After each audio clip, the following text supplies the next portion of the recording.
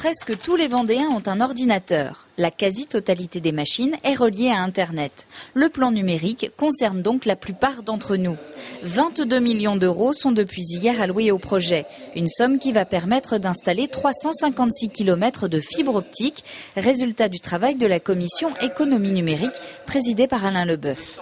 Hier, l'information passait par un fil cuivre, les fils téléphoniques que tout le monde connaît.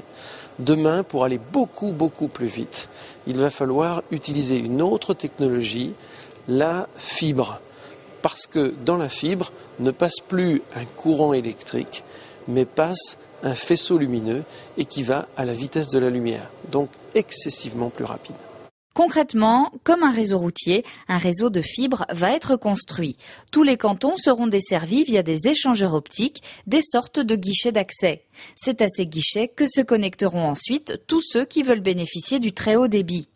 L'opposition s'est abstenue de voter ce projet. Elle craint que toutes les communes n'aient pas les moyens de tirer ensuite les câbles jusqu'à ceux qui en ont besoin, notamment les collèges.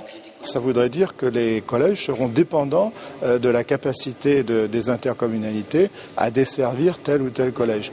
ça, ça ne me paraît pas raisonnable. Il est indispensable que le Conseil général aille jusqu'au bout de, cette euh, volonté de dire que chaque collège doit être desservi euh, en priorité par la, par la fibre optique. Réponse dans quelques mois. Les travaux du plan numérique doivent commencer en 2012 dans le département. Si le calendrier est ensuite respecté, le très haut débit sera à la disposition de tous en 2015.